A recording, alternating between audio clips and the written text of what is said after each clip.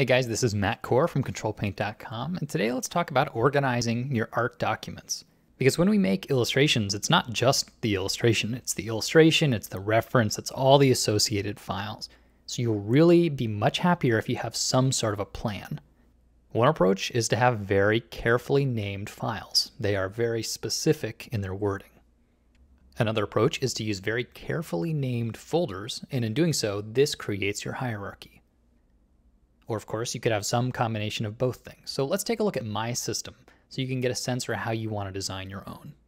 Now for me, I've got three main categories. I have client, I have control paint, and I have personal. At the top of my hierarchy, these folders will pretty much account for any artwork I make. So let's take a look at personal. Here we've got four things. These might be 3D models or sketches. They all start with the year, the month, and then the name of the project. Easy. Because I named them that way, they all sort very nicely. Okay, so let's click on any one of them. We'll take a look at the Moonlander. So in here, I have a specific set of subfolders that I like to use. I have export, that's just the final 2D JPEG. I have PSD, that's obvious, that's for my working layered files.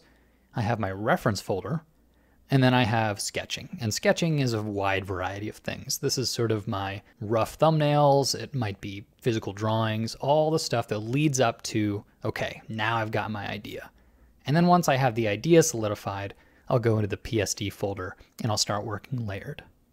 But the idea with all this is I don't need to make the files themselves named really elegantly. But as long as I have the buckets to fill and the buckets are named, I think I'm okay. So then I could say, oh yeah, I made a piece of personal art. Um, oh yeah, it was a moon buggy, and I wanted to find the old sketches for it. Well, then I would know where to go. Now, sometimes a project is going to grow even bigger than three items, or even bigger than five items. And then at that point, it might make sense to give it a little more hierarchy. So here I've created a folder called 2015-09 Mars Project. And then I can put the moon buggy, moon lander, moon suit, and space marine all inside of it, which is going to just make my personal folder a little tidier as I continue to make new artwork. So let's pretend I'm going to make a new piece of artwork. We'll say it's January 2016 and I want to make an environment. Here's where things get really cool. I don't like typing all those folder names. That is not fun. So let's use a tool specifically made for this task. So here I have a free utility only for Windows. Sorry, Mac people and it's called text to folders. So first I have to tell it where am I making the art. So I'll say personal, okay? That's the root. And then the other thing it asks me is what structure do you want for your subfolders? And I've actually already created one called image text. And this just defines what the subfolders are going to be named. Okay, so I go ahead and hit create folder. And we can see here over on the right, I have a new folder with those subfolders ready to go. So all I need to do is rename it. So I'll say it was, what do we say, 2016. This is January. And we are making an environment of some sort. Now I am totally ready to go. I double click on this. I have all those subfolders that you saw on the previous ones. All I need to do is make the artwork but I'm not always using this exact same structure.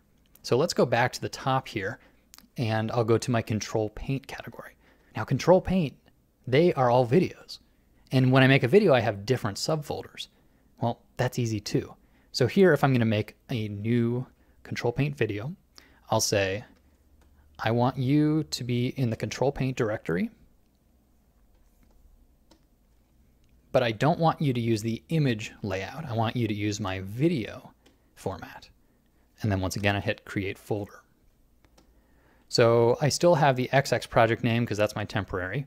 We'll go inside and see what we see. I've still got export, but here I've got other categories, audio, footage, packaging. These are things that don't apply to my 2D work, but are in every video I make. And the way this works is really easy. There's no programming involved here. So I'll open up my directory here.